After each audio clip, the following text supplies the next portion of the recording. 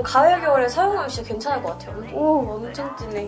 나 제가 최근에 좀 꽂힌 드라마가 괜찮네. 지금 씻고 왔고 바로 기초부터 들어갈게요. 이건 어성초 mist예요. 제가 어성초 스킨 한 통을 다 써서 요즘엔 이걸 쓰고 있는데 이거는 크기가 더 작아져갖고 휴대하기가 좀 편해요. 어제 압출을 좀 하고 잤더니 울긋불긋한 게 좀 남아있어서 진정 효과 있는 어성초를 썼고 다음은 정말 아시는 분들은 다 아시죠? 저의 애정템 red serum을 쓰겠습니다.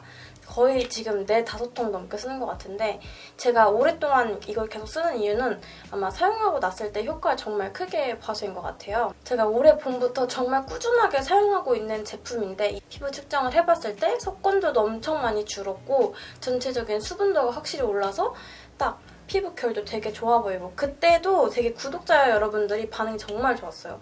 확실히 레드세럼 쓰고 나서 피부가 더 환해 보이고 결도 좋아 보이고 그런 반응이 정말 많았거든요. 그리고 저 믿고 구매해주신 분들이 보내주신 후기도 정말 짱짱했어요. 다 진짜 피부 엄청 많이 좋아졌다. 인생 세럼에도 약간 이런 내용. 이건 이렇게 수분감이 엄청 많은 제형이에요. 그리고 발랐을 때 끈적임 없이 바로 흡수되는 산뜻한 제형이어서 바르고 나면 피부가 정말 많이 촉촉해져요. 그리고 부들부들한 마무리감도 있습니다. 이게 다 흡수시키고 난 건데 확실히 광 표현이 생기죠. 속광이 좀 올라와요. 저는 민감성 피부이기 때문에 피부 컨디션이 정말 많이 변해요. 아시죠? 그래서 제가 다른 제품들 테스트하느라고 이 red serum 사용 못할 때는 피부 컨디션이 좀 많이 안 좋아지면서 트러블이 굉장히 자주 일어나더라고요. 또 이제 가을 넘어가면서 또 귀신같이 알고 피부가 이렇게 컨디션이 좀 낮아져서 트러블들도 좀 생기고 결이 많이 안 좋아지기 시작을 했는데 이제 제가 봄이랑 여름 동안 정말 잘 사용을 했잖아요. 그래서 이번 가을에도 피부 건강을 좀 잘 챙겨줄 것 같아서 다시 꺼내갖고 열심히 사용을 하고 있습니다. 제가 진짜 자신있게 추천하는 라인이에요. 이거 red serum. 이거는 마몽드 무궁화 크림이랑 되게 궁합이 엄청 잘 맞는데 제가 여름에는 light 제형 쓰다가 가을, 겨울쯤에는 moisture intense로 갈아타고 있습니다. 그게 조금 더 이제 보습감이 더 많이 들어있어서 가을, 겨울에는 그걸 써요. 저는 이제 다음 크림으로는 이번에 새로 나온 거죠. 이니스프리 더마 포뮬러 green tea probiotics 크림을 쓸게요. 제가 이제 유산균에 관심이 많아지면서 아침마다 프리바이오틱스를 먹는데 이게 이름이 프로바이오틱스여가지고 좀 끌렸어요. 예, 주로 저는 아침에 메이크업 전에 좀 많이 사용을 하고 있는데 유수분 밸런스가 적당히 맞는 제품이어서 좀 건성 피부분들이 사용하시면 가을에 좀 틈 없이 잘 바, 사용하실 수 있을 것 같아요. 이거 메이크업 다 하고 오늘 학교를 갑니다. 제가 이제 종강을 하려면 109일이 남았다고 해요. 또 생각해보니까 109일이면 얼마 안 간, 얼마 안 남은 것 같긴 한데 왜 이렇게 다니면 109일이 되게 길어 보이죠? 남자친구 사귀고 이러면 100일 좀 금방 가잖아요. 아닌가? 그런 생각으로 109일 이제 버텨보려고 하는데 오늘 아침에 일어나면서 정말 믿을 수 없었어요. 손 닦고 왔고 요즘 오렌즈에서 그렇게 이쁘다고 소문난 비비링 brown 컬러를 착용하고 메이크업 들어갈게요. 아이돌 렌즈가 되게 컬러감이나 그런 디자인이 예뻐서 인기가 많았는데 오렌즈에서 좀 저렴하고 조금 더 자연스러운 디자인으로 나와고 요즘에 되게 인기가 많아 보이더라고요. 오늘 이제 베이스 들어갈 건데 귀신같이 알고 피부가 트러블이 진짜 많이 올라왔어요. 제가 한 1년에 두 번 정도 이렇게 많이 올라오는데 하필 또 개강 딱 맞춰갖고 이렇게 일어난다? 제가 저번 주까지만 해도 피부가 괜찮았거든요? 근데 또 제가 이제 그날이랑 겹쳐서 얘가 더 힘을 내갖고 많이 뱉어냈나 봐요. 그래서 일단 커버랑 오늘은 좀 건강해 보이는 피부편 정도로 가려고 해요. 오늘 같은 날은 매트하게 하면은 이 트러블들이 좀 올라와 있는 게 더 부각되기 때문에 그래서 오늘 아주 찰떡인 베이스를 가져왔어요. 일단 이거 로레알 모어덴 컨실러 를 꺼냈습니다. 약간 yellow base가 섞여 있어서 트러블들, 붉은 트러블들 커버하기 괜찮고 커버력이 좀 많이 좋아요. 얼마 전에 꿀조합으로 제가 이제 스토리 올렸었는데 질문이 또 이 concealer에 좀 많이 없더라고요. 커버력이 좋습니다. 붉은기 커버에 괜찮아요. 살짝씩만 두드려서 경계에 좀 사라질 정도로 이게 커버력이 좋았고 소량으로도 되게 넓은 반경으로 펴져요. 그러니까 꼭 양 조절 해가시면서 바르시길 추천합니다. 망했어, 피부가. 그 친구도 얼마 전에 갑자기 이제 방학 동안은 괜찮다가 개강되니까 뒤집어졌다고 연락이 왔는데 어쩌면 그렇게 피부들이 중요한 날마다 뒤집어진지 모르겠어요. 꼭 저는 꼭 광고 촬영 같은 게 이제 많지는 않지만 가끔씩 하러 가면은 꼭 그날 뒤집어져요.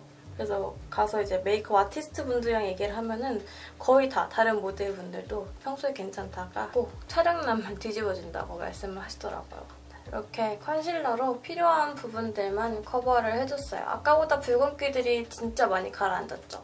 그리고 오늘의 비장의 무기는 바로 이거 메이크업 포에버의 reboot 파운데이션 소생파데라는 별명을 가지고 있는데 이게 이번에 새로 나왔어요. 제가 예전에 선물을 받아서 이제 출시 전까지 오랫동안 테스트를 해봤는데 파데가요 정말 얇게 발리고 일단 피부가 되게 건강하게 표현이 되는 게 진짜 맞는 말인 것 같아요. 피부가 되게 쫀쫀해 보이는 피부 표현이 되는데 커버력도 좋아요. 그리고 지속력이 진짜 괜찮아가지고 어, 이거 좀 출시되면 인기 되게 많겠다라는 생각을 했어요.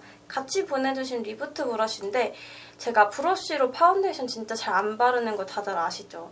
그게 약간 브러쉬로 바르면은 약간 그런 요철들이 부각이 많이 돼서 브러쉬는 좀 사용을 안 하고 각질 부각도 좀 심하잖아요. 그래서 사용을 안 하는 편이었는데 이거 브러쉬는요 이렇게 막 해도 아프지도 않고 확대를 해야겠다. 결 표현이 거의 안 남아요. 그래서 뭐 스펀지로 두 번 안 두드려도 될 정도로 브러쉬가 정말 잘 나왔더라고요. 되게 꿀조합이에요, 이거. 그냥 이렇게 문지르셔도 되고 저처럼 이렇게 두들기면서 피부 표현 해주셔도 좀 촘촘하게 더 메꿔지는 느낌이 있을 거예요. 파데가 피부 표현 진짜 예쁘게 나오잖아요. 이건 reboot 파운데이션이라서 피부 컨디션 안 좋을 때 좀 더 피부 그런 어, 소생을 해줘서 더 좋게 보이는 파데이기는 한데 제가 생각했을 때는 피부 좋을 때 사용하면 더 업되는 그런 제품이기도 해요. 엄청 예뻐 보여요. 피부 좋을 때 사용하면은. 제가 원래 이렇게 브러쉬로 막 이렇게 엉망진창 바르는 거 진짜 안 좋아하는데 이거는 그렇게 해도 벗겨짐이라든지 긁힘이 거의 안 남는 편이어서 제가 이렇게 편하게 긁고 있습니다. 이번 이번 가을 겨울에 사용하면 진짜 괜찮을 것 같아요. 엄청 촉촉하고 뭐 지속력도 괜찮고 끈적거리는 것도 아니어서 추천 추천. 그리고 지방시 파우더로 오늘 볼 쪽에는 유분은 제거 안 할 거예요. 이거 제거하면 요철 너무 튈 것 같아서 빵시 파우더는 이렇게 퍼프에 이렇게 문양 남는 게 너무 예뻐요. 이렇게 그다음에 코 옆부분 이쪽이랑 뭐 눈두덩이도 살짝 이마 헤어라인이랑 이쪽 턱에 그리고 바로 눈썹 들어갈게요. 바비브라운 마호가니 컬러입니다. 전 개인적으로 베네피트 brow랑 클리오 brow가 진짜 잘 그려져서 제가 엄청 많이 추천을 했는데 이 새로 나온 바비브라운 brow도 진짜 자연스럽게 그려져서 추천드릴 만 해요.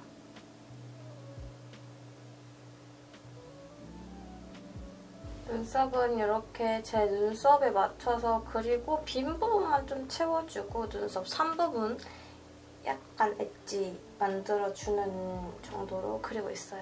이렇게 그렸고 아이섀도우 들어갈 건데 어제 제가 명동 가가지고 에뛰드 신상 섀도우들을 구매를 해왔어요. 전색상 구매하려고 했는데 발색을 하다 보니까 는 다 은근 있는 것 같은 색이고 좀 핑크 계열로 메이크업 할 수 있는 느낌으로 가져왔어요. 와, 뭐부터 발색해야 되지? 컬러가 다 너무 진해.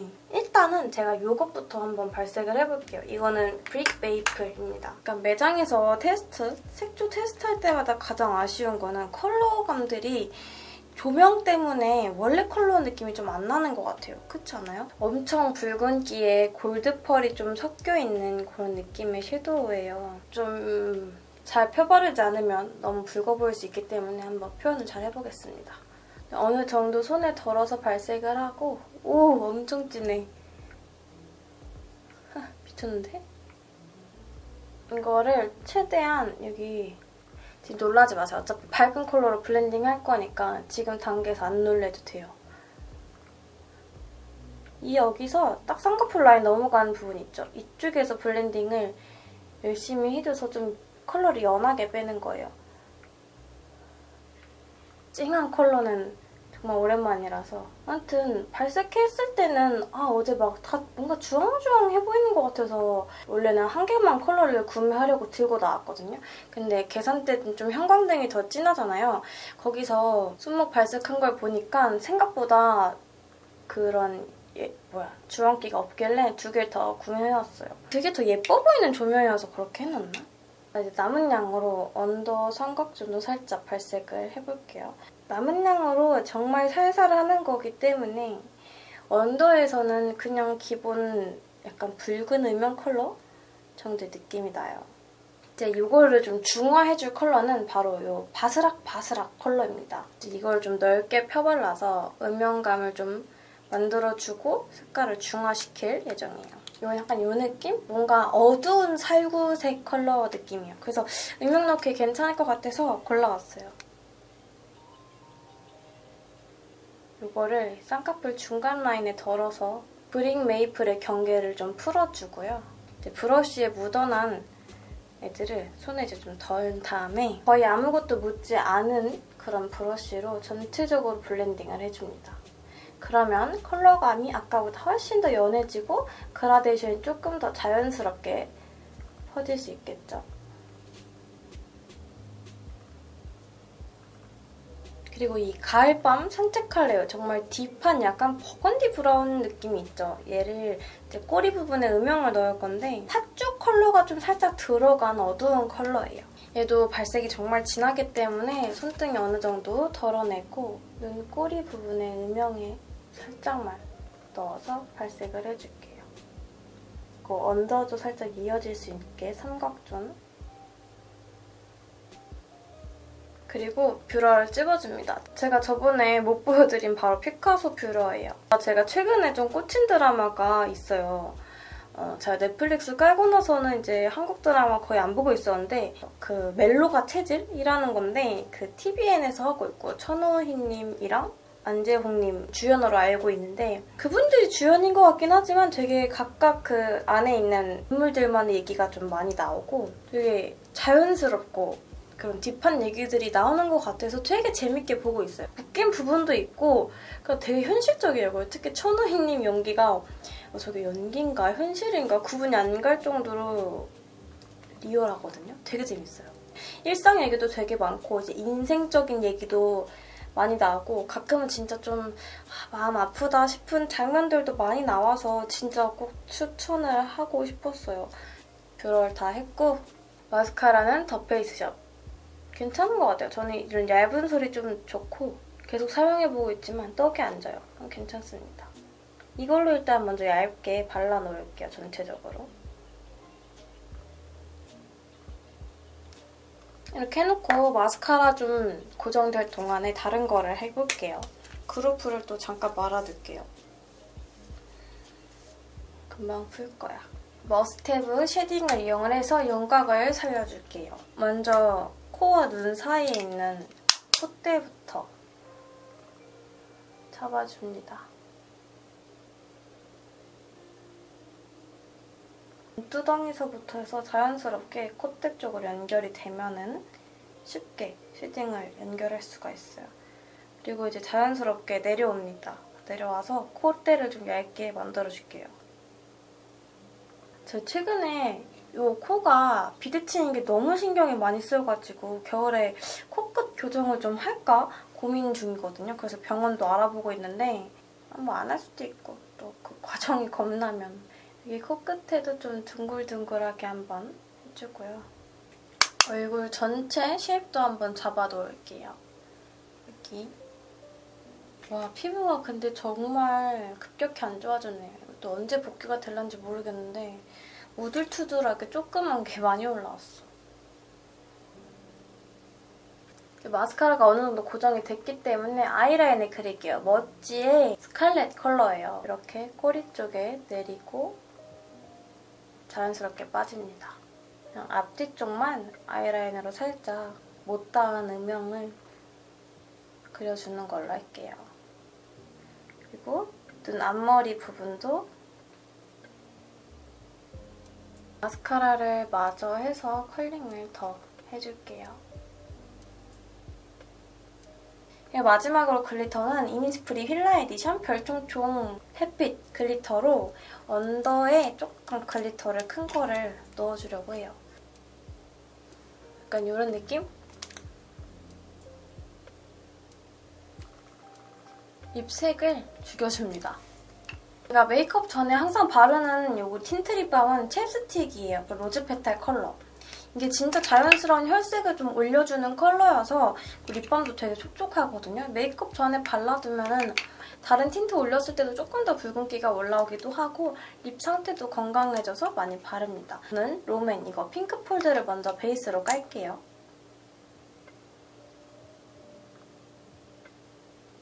cool tone 분들이랑 봄 warm tone 분들이 사용했을 때 가장 예쁜 화사한 분홍 컬러의 lip이에요.